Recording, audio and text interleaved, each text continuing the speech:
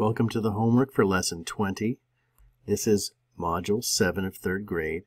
Name first here, please. You don't want to turn in homework with no name on it. Cut out the unit squares at the bottom of the page and then use them to make as many rectangles as you can with a perimeter of 10 units. So I think last homework assignment we were making we were talking about making areas with particular number of squares. And this is where the squares are that they're talking about at the bottom of the page. Cut those out like puzzle pieces. And actually take the time to do that and play with them, move them around. Uh, and you will you will find that you're um, it's much more enjoyable and easier using those and your brain will thank you for it. But one of the first things you might try is this you might try this thinking about what we've been working on recently. One, two. You might try that because it's 10 squares. But that perimeter is 10 plus 10, which is 20, 21, 22. And we can only have a perimeter of 10 units. So think about this is we're not talking about the number of squares, or, which would be the area. We're talking about the number about, adding up the lengths of the sides. So we can't have that one. 10 is too long for the sides because it adds up to a huge number. So what about 5? Well, if we had 5, well, 5 plus 5 is 10 already, so we'd have to have 0 columns, and we can't have a rectangle with a side length of 0, so that doesn't work either. So if 5 is too big, what about 4? And this is just maybe a mental process you might have gone through playing with the with the squares to try and figure this out.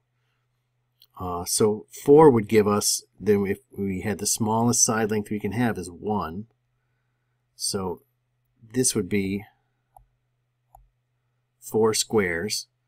And think of this, 4 plus 1 is 5, and two fives would make 10, right? So that's what we're looking for, is those side lengths have to add up, those adjacent side lengths have to add up to 5 to make a rectangle with a perimeter of 10. So 4 and 1 works. What about 3?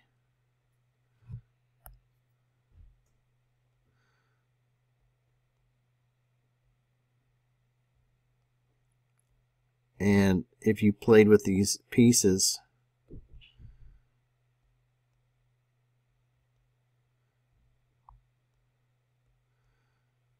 you find out there's your fives. And there are no other addend pairs. You're used to hearing factor pairs probably aren't you but there are no other addend pairs that add up to 5. So that's it. And then find the areas of the rectangles above. So I'm just going to draw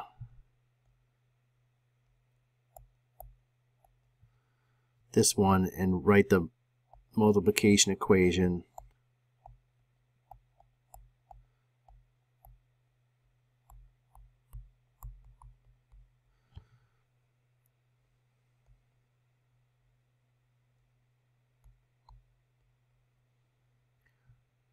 and label it.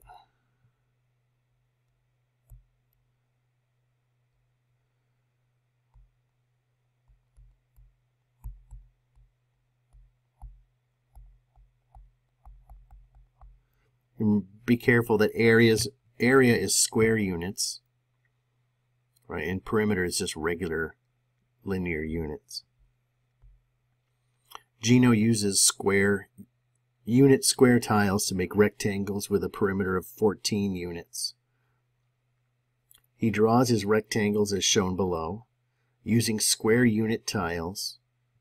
So this is the same thing we did on the first page, except he's doing it to make 14, uh, perimeters of 14. Uh, can Gino, make another rectangle that has a perimeter of 14. Explain your answer. So this is the thing that we maybe we figured out on that first page that remember we had to come up with the sides, the length and the width added together have to add up to half of the perimeter because you get you get two of them. So how can you make sevens? You can have 1 plus 6 and you could have 2 plus 5 and we already have 3 plus 4 so he used that one and he used that one. Uh, so we there is one right there. Uh, 4 if we keep going up to 7 we already used 4 because it's in this factor pair and we already used 5 and we already used 6 and we can't use 7 plus 0 because you can't have a rectangle with a side length of 0 so we do have one. It's the 2 plus 5. So then this rectangle is going to be yes. And then we're going to draw a picture of it, and that's going to be our explanation.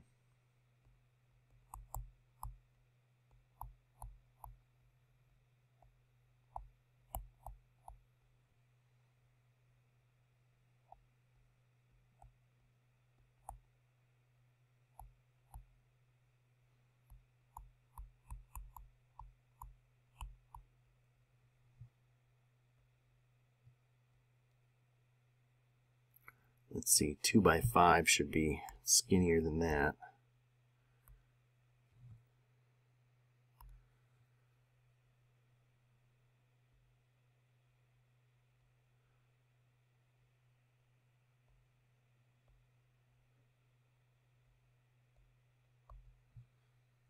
Like that. Katie draws a square that has a perimeter of 20 centimeters. Estimate to draw Katie's square below and label the length and width of the square. So squares have, a square has all equal sides, but just like a rectangle, we need the length and the width added together to come to half of the perimeter. So, just as we figured out before, so for 20, we need half of 20 is 10. So we need a double that adds up to 10, and that's 5 plus 5. And you'll see what happens when we do this. 5's all around, and that's 5, 10, 15, 20. That's 20 centimeters. Find the area of Katie's square. Well, that's 5 times 5 equals 25 square Oh, square centimeters, not square units.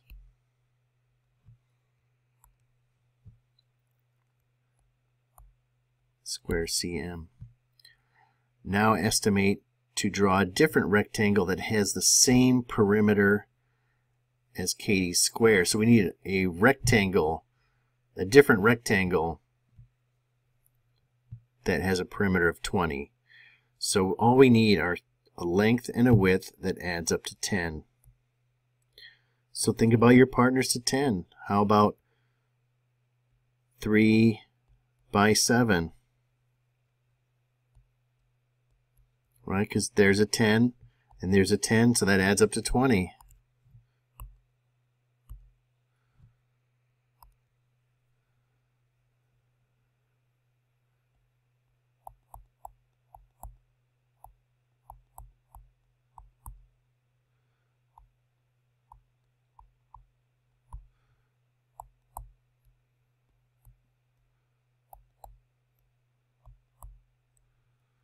And I wrote over the question there, but hey, you know, sometimes it happens. That's okay. Which shape has a greater area? Katie's square or your rectangle? So Katie's square is, now depending on the rectangle you drew, because it didn't have to be a 3 by 7, it could have been a 4 by 6, it could have been a 2 by 8, it could have been uh, Could have been a 1 by 9. So you it, your answer really could be different depending on which kind which rectangle you drew. So which one is better? Okay, so Katie's that's 3 times 7.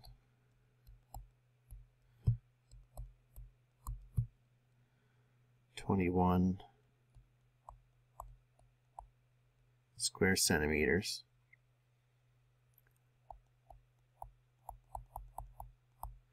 Katie's square. Is 25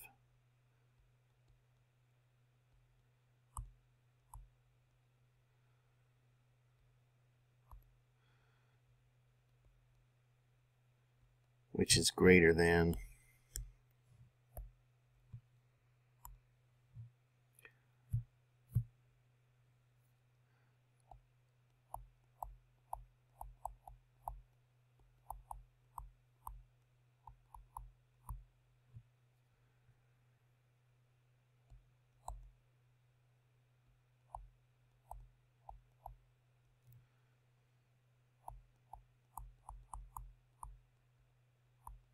the 21 square centimeter rectangle.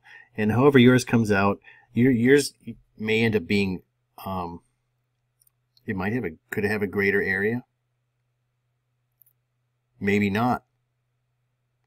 Think about that question because that might tell you something. Think about that. Is a square always going to have the most area of any rectangle given the same perimeter? Think about that. Maybe you could make a rule out of that.